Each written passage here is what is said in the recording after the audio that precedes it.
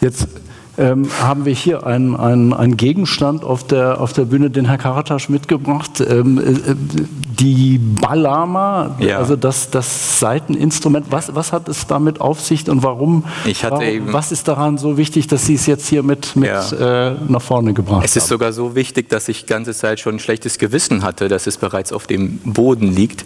Äh, ist jetzt nicht so zu behandeln. Sie kennen das vielleicht im schulischen Kontext, wenn ein, ein Religionslehrer einen, äh, einen Koran mitbringt und die muslimischen Kinder sofort aufschreien, ja? dass man ein heiliges Buch wie den Koran nicht auf den Boden zu legen habe.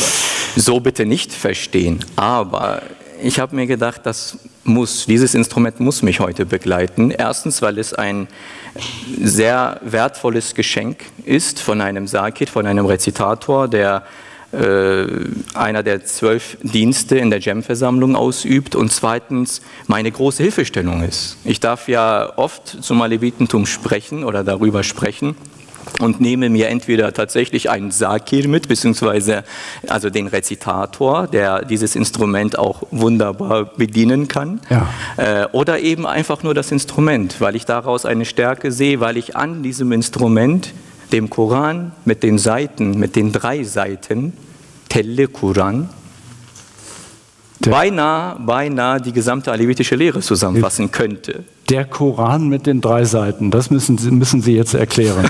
Vielleicht beide zusammen. Der Koran mit den drei Seiten, das ist jetzt sehr irritierend. Das ist irritierend. Natürlich muss man sehr viel ausholen, äh, um das zu verstehen. Ja. Ähm, darin äh, meinen Aleviten also um äh, Gottes Wort. Ähm, wir versuchen durch Gesänge und durch Saz, durch Melodien, äh, auch Gottes Wort wiederzugeben. Deshalb äh, ist es so, dass sprechende Koran oder äh, dreiseitige Koran äh, heißt es, also so synonym gemeint. Ja. Ähm, also Gottes Wort ist bei uns dann im weiteren Sinne äh, bezeichnet.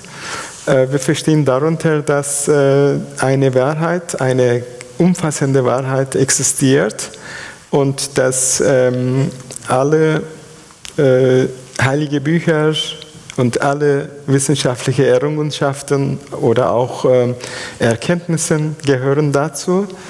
Und das reicht nicht. Also es, das ist so umfassend, dass die Menschheit noch nicht äh, alles Gottes Wort entdeckt hat und ja. entziffert hat.